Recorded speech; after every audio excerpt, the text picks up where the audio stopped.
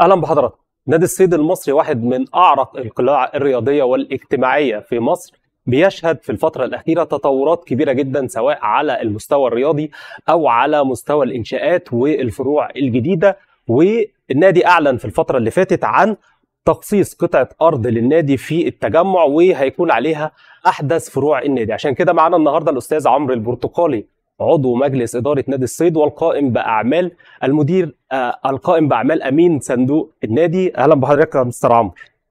أهلا بحضرتك أهلا بيك. أهلا بيك صباح الخير. صباح النور يا فندم. يعني في الفترة اللي فاتت شايفين نجاحات كبيرة جدا للنادي سواء على المستوى الرياضي أو على المستوى الاجتماعي أو الطفرة الإنشائية. عشان كده يعني محتاجين نعرف من حضرتك تفاصيل عن فرع النادي الجديد في التجمع في البداية.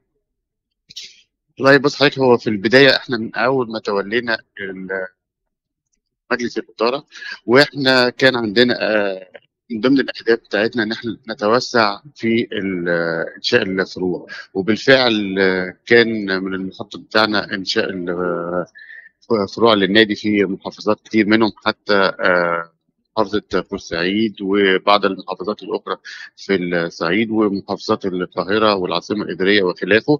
والحمد لله آه، كان آه، كلل جهودنا آه، بالنجاح إن إحنا حص- حصلنا على العقد الجديد للفرع الجديد إن شاء الله في منطقة التجمع من هيئة المجتمعات العمرانية.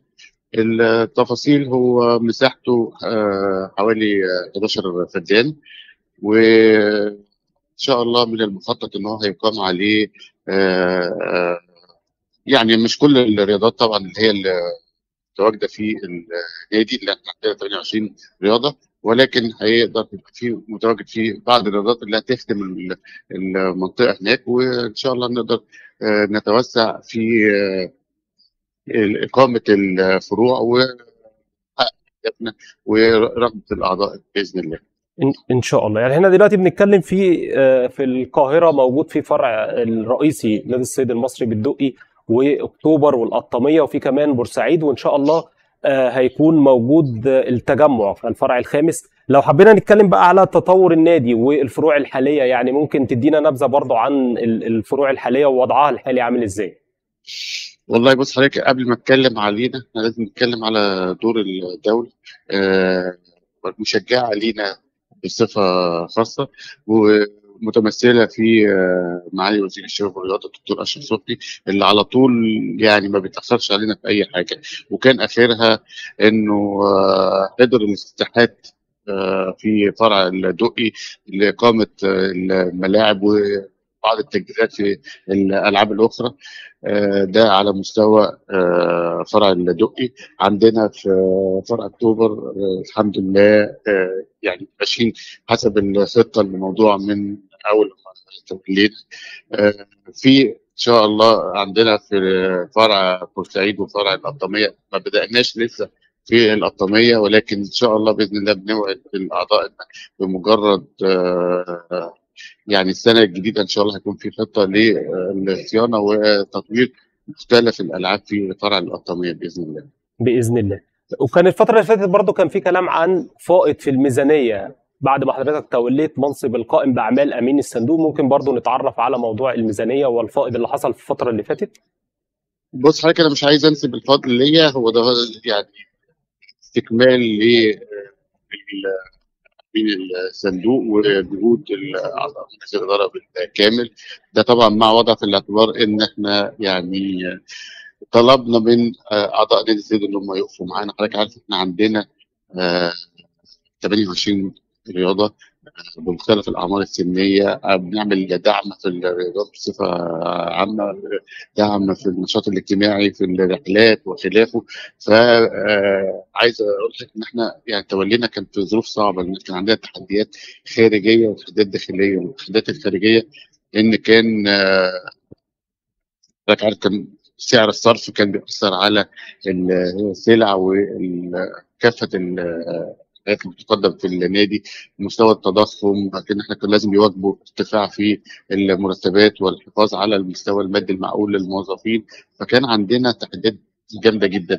فالحمد لله يعني يعني بالتعاون مع كل سواء الأعضاء والاداره التنفيذية وكله قدرنا إن إحنا آه، نعمل خطة ويعني اجتزناها الحمد لله بصعوبة. وأول سنة نحقق فيها فائض وإن شاء الله السنة اللي جاية هيبقى فيه فائض أكتر وأكتر بإذن الله.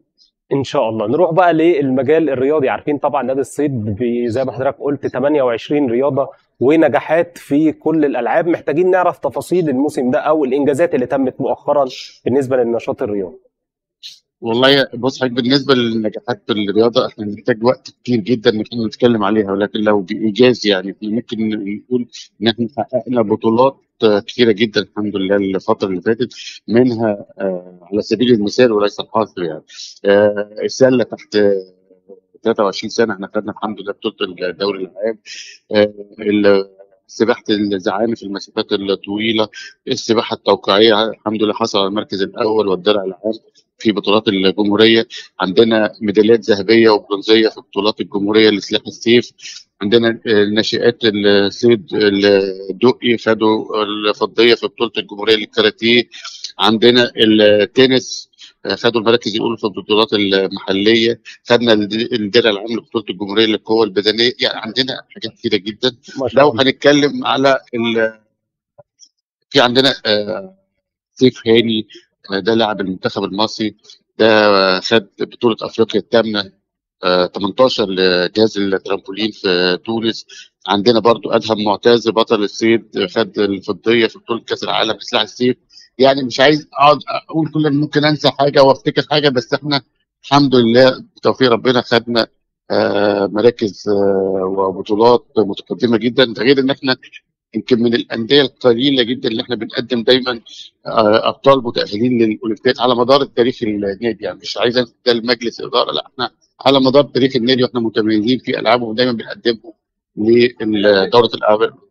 أكيد طبعا. إحنا عندنا آه، خلاص أولمبياد باريس على الأبواب. محتاجين نعرف من حضرتك اللاعبين ال- من النادي اللي تأهلوا لحد الآن. يعني الحمد لله عندنا جانا هاني إسماعيل متأهلة لأولمبياد آه، باريس. عندنا البطل الأولمبي آه، سيف عيسى ده برضه متأهل لأولمبياد باريس. وبرضه عايز أكرر وأقول دايما إن الأبطال الأولمبيين دايما بيبقى نتيجة تعاون وجهد طبعا يعني الفضل الأول آه، بيرجع ربنا سبحانه وتعالى والفضل الثاني للعيبة نفسهم اللي بيبذلوا مجهود جبار عشان يوصلوا للمستوى ده. ولكن دايما بقول آه، دور الدولة والممثله في وزارة الشباب والرياضة هي دايما بتدي الدعم وبيركزوا على الألعاب الفردية المتاهله لدورة ال- الفردية ودايما بيبقى في متابعة وعمرهم بصراحة ما تأخروا علينا. فأنا يعني بحب برضه من خلالكم إن أنا أشكر آه، دكتور أشرف صبحي على الدعم المتواصل والمتابعة المستمره دايما معانا في آه، مختلف العالم. ما شاء الله يعني بن بنبارك لهم ونتمنى إن شاء الله إن هم يرفعوا علم مصر في أولمبياد باريس ونشوف ميداليات سواء من لاعبي نادي الصيد أو باقي البعثه الاولمبيه بنشكر حضرتك السيد عمرو البرتقالي عضو مجلس إدارة نادي الصيد والقائم بأعمال أمين الصندوق. بنشكر حضرتك شكرا جزيلا. أنا بشكر حضرتك وإن شاء الله بإذن الله نتمنى التوفيق دايما لنا ولنادي الصيد إن شاء الله. إن شاء الله. بنشكر حضرتك. شكرا جزيلا. العافيه العافيه اتفضل. كان معانا طبعا آه، السيد عمرو البرتقالي عضو مجلس إدارة نادي الصيد والقائم بأعمال أمين الصندوق عشان نتكلم عن أو اتكلمنا عن حاجات كتيرة جدا. أهمها الإنجازات الرياضية واللاعبين المتأهلين لأولمبياد باريس وبالتأكيد الطفرة الإنشائية في نادي الصيد وآخرها إن شاء الله. فرع نادي الصيد في التجمع الجديد. بنشكر حضراتكم على المتابعة ونتقابل إن شاء الله في تغطيات جديدة.